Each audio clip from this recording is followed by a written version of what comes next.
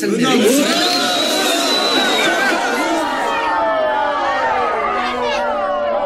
à toutes, bonjour à tous. Les gilets jaunes ne sont pas contents. Et pourquoi? Car dans un journal de France 3, JT National, cette image a été diffusée. Quand même bizarre, un mec qui tient un panneau juste euh, Macron. Il revendique Macron. Donc cette image a été trafiquée. On a effacé quelque chose sous le Macron, vous imaginez bien, hein Et du coup, bon, bah ça gueule. On peut voir d'ailleurs euh, l'image originale. Ouais, voilà. ah bon?